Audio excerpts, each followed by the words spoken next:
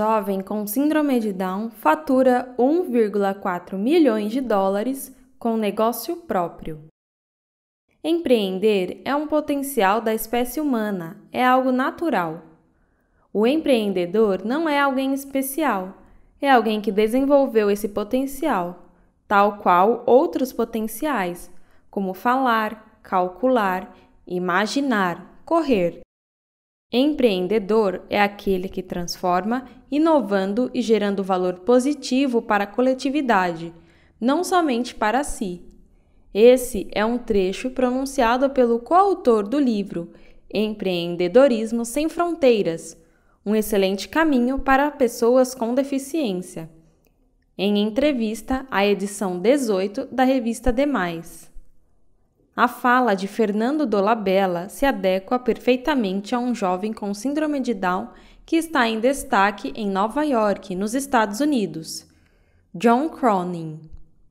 Ao lado do pai Mark Cronin, John, de 22 anos, abriu em 2017 um empreendimento no segmento de meias.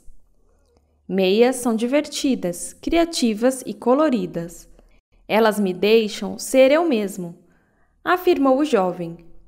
Por sua vez, Mark reforça a ligação do filho com o objeto. Ele sempre usou meias meio coloridas, meio doidas. Era algo que realmente gostava e aí sugeriu que nós as vendêssemos. A ideia de comercializar um produto divertido que surgiu ainda no final do ensino médio deu mais do que certo e a empresa faturou 1,4 milhões de dólares em apenas um ano de funcionamento. A dupla também chegou a doar 30 mil dólares para instituições sociais. Apelidada John's Crazy Socks, as meias malucas do John em português, a loja ficou conhecida a ponto de fechar negócio com o primeiro-ministro do Canadá, Justin Trudeau, e o ex-presidente norte-americano George W. Bush. Na plataforma virtual do empreendimento é possível encontrar, em média, 1,4 mil diferentes modelos de meias, desde gatos e cachorros até caricaturas do atual presidente dos Estados Unidos, Donald Trump. Ao fazer o pedido, o cliente recebe a mercadoria no mesmo dia com um pacote de doces e um bilhete feito à mão. Engana-se quem pensa que o atendimento de qualidade para por aí. Caso a entrega seja perto, John leva as meias aos consumidores pessoalmente. Ele trabalha muito na empresa.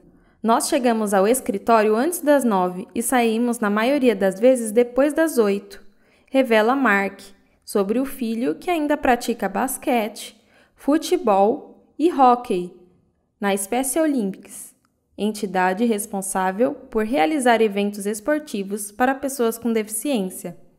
Aliás, 5% dos lucros da Crazy Socks são doados à instituição. Já para 2018, John e Mark planejam oferecer ao mercado meias personalizadas e pensam em abrir uma linha para vender em pequenas lojas.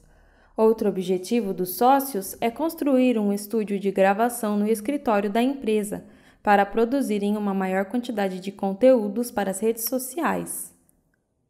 104.067 pessoas o seguem no Facebook, enquanto 7.106 os acompanham no Instagram. Gostou da iniciativa? Então acesse o site johnscrazysocks.com para mais informações e não deixe de adquirir a edição 18 da revista Demais para ler na íntegra a matéria de capa sobre empreendedorismo para as pessoas com deficiência. revistademais.com.br barra ed 18.